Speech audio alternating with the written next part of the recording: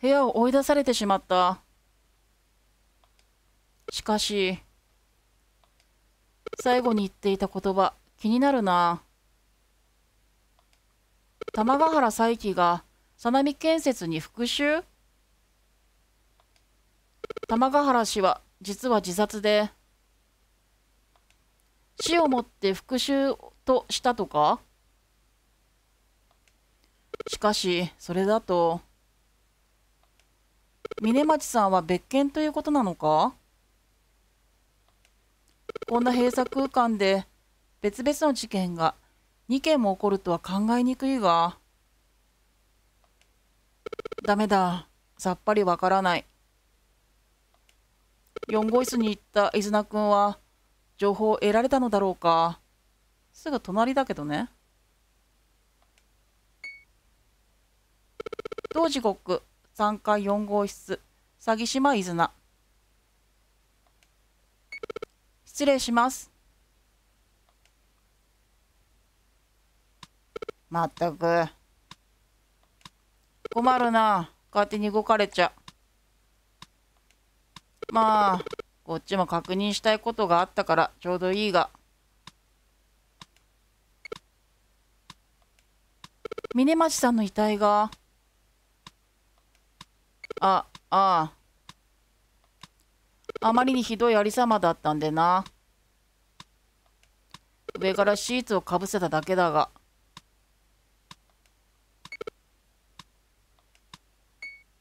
話す。それで、確認したいことって何でしょうか？君は一人か？一緒のなんとかとかいう男は、なんとかとか。いくるみさんなら部屋にいると思います。確認ってそのことですか？あ、いや。この部屋の状況についてだ。発見した時から何もいじってないだろうな。それは大丈夫です。何も動かしてません。そうかう。ん？見ます。あれ。元の位置に戻したはずのパスケースがなくなってる。お前取ったろ？話す。あの、大森さん。峰町さんとはどういった関係なんですか？あら、聞いちゃった。んな、何を言ってるんだ？今日初めて会っただけで何も知らん。峰町さんのパスケース見ましたよ。何？しかも戻しておいたところにありません。大森さんが意図的に隠したんですね。あの写真、見られたらまずいんですか？く。うん、くって言ってる。考える。あまり挑発するようなことは言わない方がいいかな。もし大森さんが犯人だったら、今度は私の身が危ないかも。でも逆に尻尾をつかむには多少怒らせて冷静さを失わせるのも有効だけど思い切ってあれ聞いちゃおうかな。あれを聞くらしい。話す。あの大森さん。刑事だっていうの嘘ですね。まあ、そう思った。な、何を言ってるんだ。ついでに言うと、制御室のルーターを破壊したのも大森さんですね。バカな。何を根拠に。じゃあ、もう一度警察手帳見せてもらえますか？あ、あれは。残念ながら今は部屋に置いてある。警察手帳規則第6条。警察手帳はその取り扱いを慎重にし、所轄庁の長が特に指定した場合を除き、常にこれを携帯しなければならない。でしたっけ？そうだよね。いつも持ってないといけないんだよね。たまたま部屋に置き忘れることだってある。それは苦しいな。まあ、それ以前に。警察手帳のデザイン、平成14年に変更があったんですが、だから新しいものだったろ？これ平成何年のゲームだっけ？ね。気象の柄、微妙に違ってましたよ。そんなはずはない。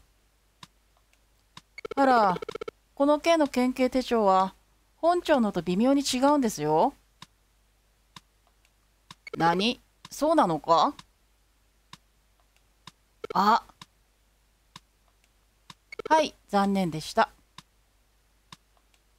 ボロが出ましたね。くそれに、いくらなんでも、被害者の見聞が済んでいないうちにシーツをかけるなんて、一家の刑事さんのすることじゃないですよ。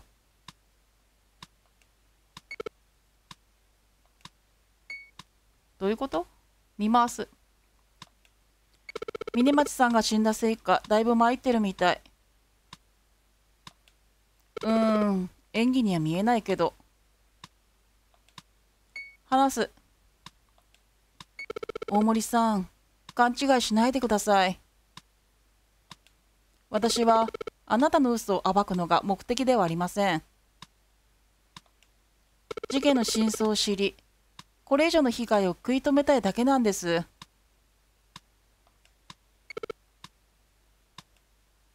峰町さんの敵を討つために必死なのは分かります。ですが、そのためにも私たちに協力してください。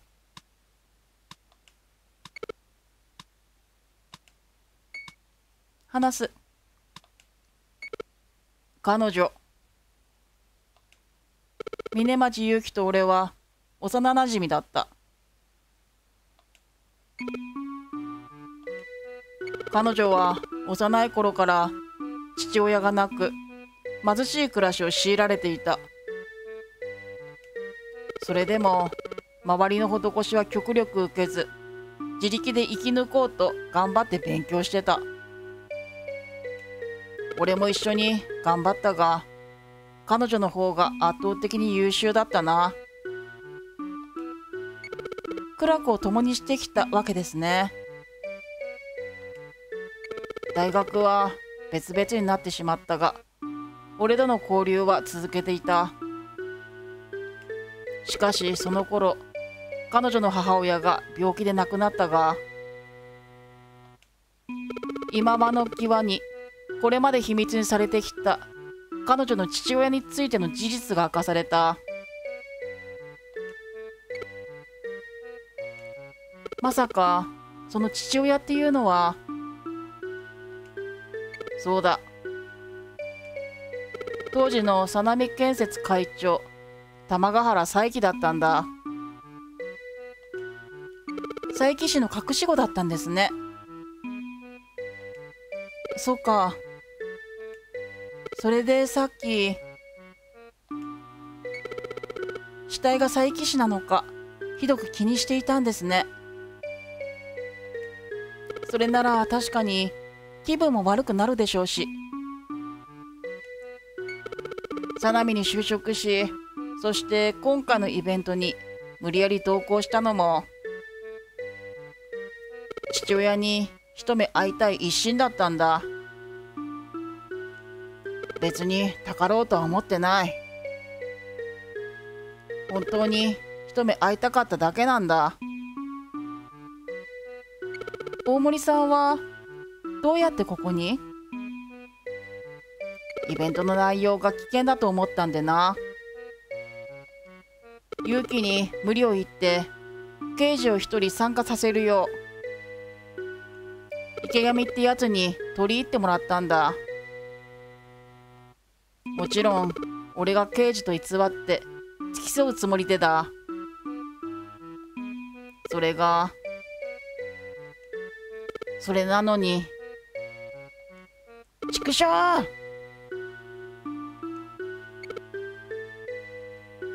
確かにルーターを壊したのは俺だ。警察に連絡なんてされたらバレてしまうから。誤ったことをしましたね。おとなしくあの時点で明かしていれば峰町さんは助かったかもしれないのに。そそんな。ユキは部屋でおとなしく寝ていると言っていたんだ。誰が来ても絶対にドアを開けるなと言ってあったんだ。それなのにどうしてなんだ？畜生！畜生！大事だから2回言った。そこがポイントですね。誰がなぜどのようにして峰町さんを殺害したのか。俺が知っているのはこれだけだ。頼むよ。あんた探偵だろ？勇気を殺した犯人を見つけてくれよ。そのつもりです。任せてください。話す。一つ確認したいんですが峰町さんは誰も部屋に入れて入れないと言っていたんですね。ああ。その点はきつく言っておいた。だとするならばこの部屋のどこかに抜け道が隠されているかあるいはマスターキーが使われたか孫めの野郎か？待ってください。そんな明らかに疑われるとわかる手段を使うとも思えませんし。とにかくもう少し調べてみます。そそうか。大森さんはここにいてあげてください。ただしくれぐれも現状保存でお願いします。わかった。頼む。場所移動します。結局操作は振り出しか。いくるみさんはちゃんと話を聞いてくれてるかな。16時42分。木部川探偵事務所。木部川亮介。どうした？木部川になっちゃった。おはよう、伊豆名くん。いなくない？早速だが、朝の紅茶を頼むよ。いないよね？しまった 今は朝じゃなければ、伊豆名くんもいないときたか。そういえば、回廊館とかいう変な建物に行くとか言ってたな。ふむ。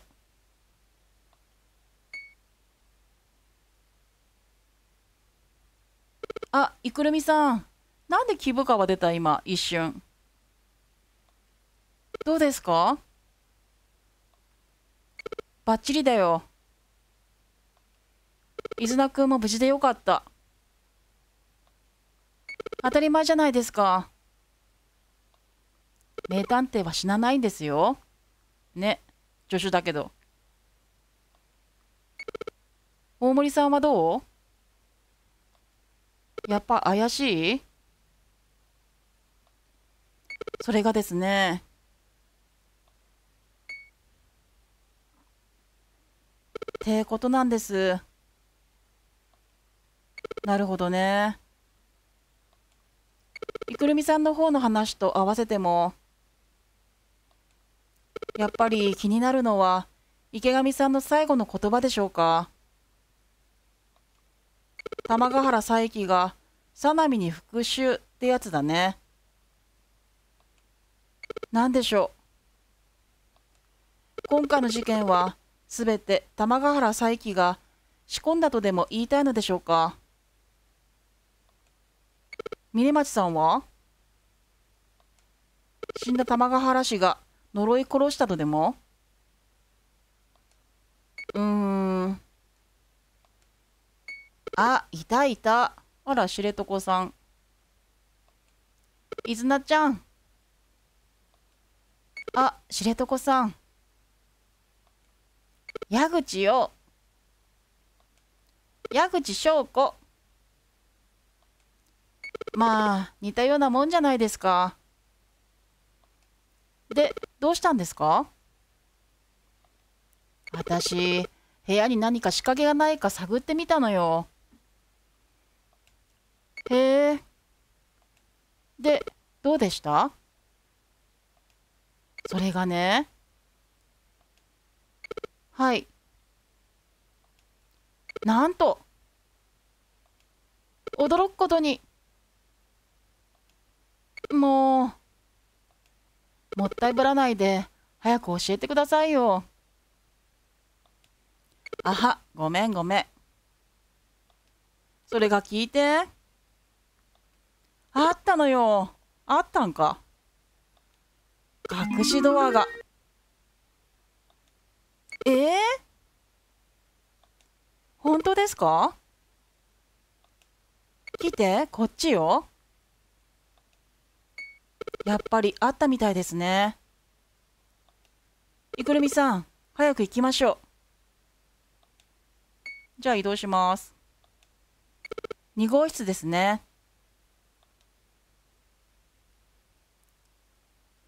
いずなちゃん。こっちよ。部屋の奥の壁ですか？話そう。話す。ほら、ここを押すと、壁際にある棚がスライドして動くのよ。あ、ほんとだ。ん？なんでしょう、これ。棚の裏の壁をよく見ると、ドアの形に溝が走ってるのよ。いかにも開きそうな感じでしょ？でも、とってもスイッチも何もないですね。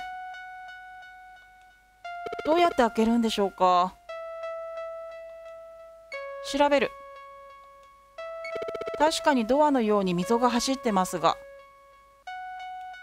ここは外壁側ですから、開けても外に放り出されるしかないような。うーん、話す。そっか。この向こうは海だけか。でも、何か意味があると思うんだけど。もしかしたら、外壁が二重になってて、その間を通って部屋同士を外側から行き来できるのかも。そうかも。外側から見た限り、ドアなんて見えなかったし。まあ、外側もこんな風にカムフラージュされていたら、遠目にはわからないでしょうけど。でも、外には出られるのかもしれませんね。うーん、どうにかして開けたいわね。話す。あ、いくるみさん。いくるみさんの部屋も同じか、見てきてもらえますか？そうか。他の部屋でも同じか。調べておいた方がいいな。移動します。ちょっと自分の部屋を確認してくるよ。お願いします。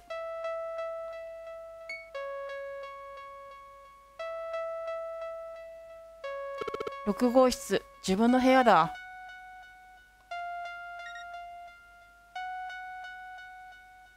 調べる。2号室と同じように壁の棚をスライドさせる。するとやはりその裏にはドアのような溝があった。やっぱりあった。これなら全部屋にあると思って良さそうだな。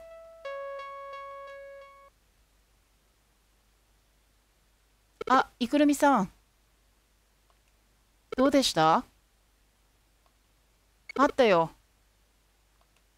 あれがこの館に隠されている。仕掛けなのだろうか。でエレベーターの前に這いつくばって何してたんだい？這いつくばってた。いやほら。さっき矢口さんが言ってた。中2階があるか確認できないかなって。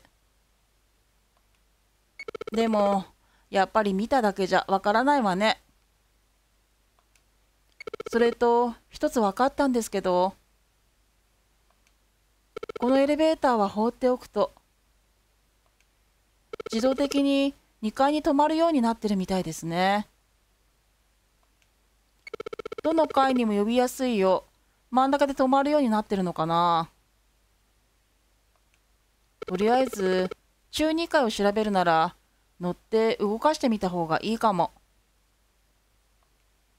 僕は上で床を蹴ってみるから。そうですね。振動の距離感でつかめるかもしれません。乗ってみますね。頑張って。それから耳を当てたりしながらフロアに仕掛けがないかいろいろと調べてみた。そんな時だった。突然。あー。とはどうした？開花から伊豆名君の叫び声が聞こえた。ど、どうした？何かあったのか？伊豆名ちゃん？な、何事ですか？今の声は。するとエレベーターの扉が開き、伊豆名くんが出てきた。いくるみさん。大丈夫か？ど、どうなさいました？わかりました。わかったんです。わかったって。仕掛けがかい館の仕掛けと、それと、今回の事件の犯人です。犯人も分かったってさうん。え、本当？伊豆名ちゃん、犯人って、一体誰なの？それよりあれです。あ、早く3号室に。池上さんが、え？池上さん池上さんダメです。やっぱり返事がありません。馬込さん、鍵を。やっぱりって。まさか。あわわわわ。まさか、そんな。あ、開けます。あ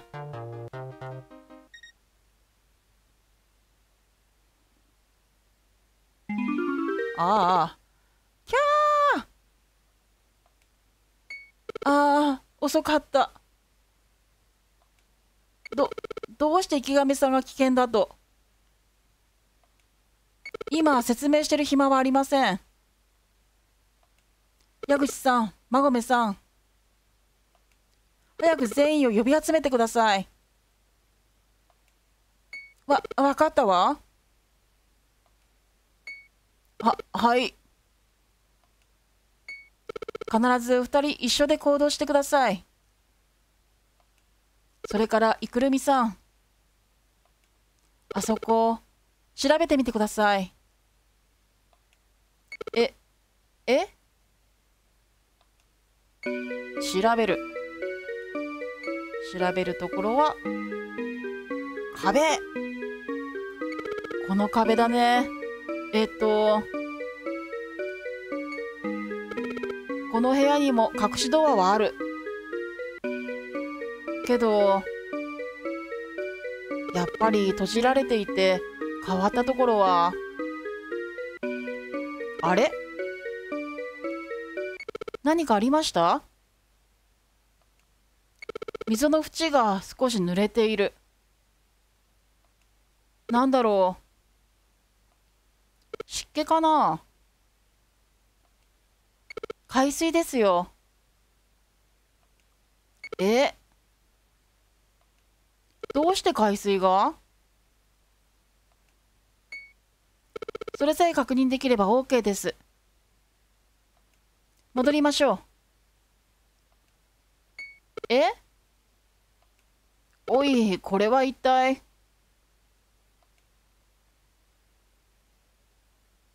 ま、また死人が出たのか？すみません。私がもっと早く気づいていれば。いずなちゃん。大変よ。どうかしましたか？萩中さんがいないのよ。萩中っちがいない。馬込さんのマスターキーを使って3階の全部の部屋を探してみたんだけど。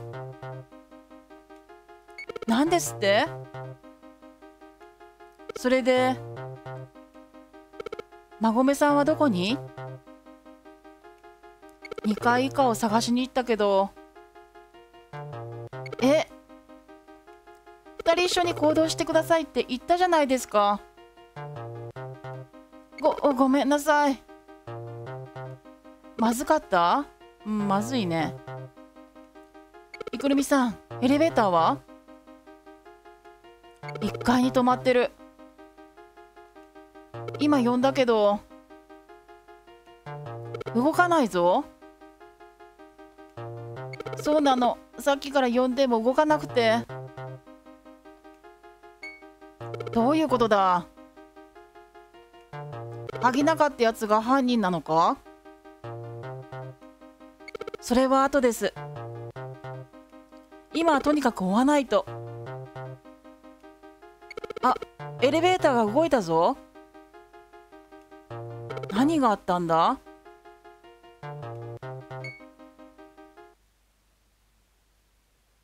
疑惑憎悪思い狂気。